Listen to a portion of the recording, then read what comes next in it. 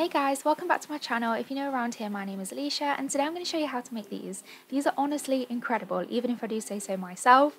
They are individual brownie pots, but they've got a hidden Cadbury caramel egg inside. So when you put your spoon into it and get a spoonful out, it's just caramel brownie heaven.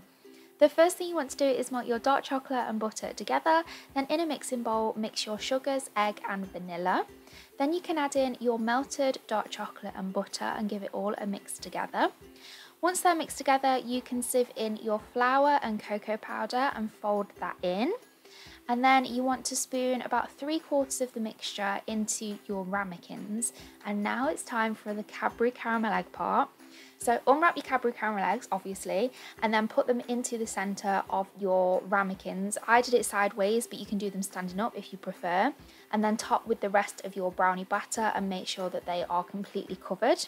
Then you want to bake them for about 22 to 25 minutes at 160 degrees Celsius. That's for a fan assisted oven.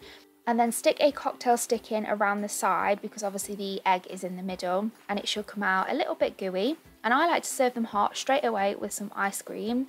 And just like that, they are complete. They are honestly delicious. Please let me know in the comments if you try these at home. And as always, thank you very much for watching. Please don't forget to like and subscribe. And I will see you on Saturday for mini egg shortbread, I think. Thanks for watching. Bye.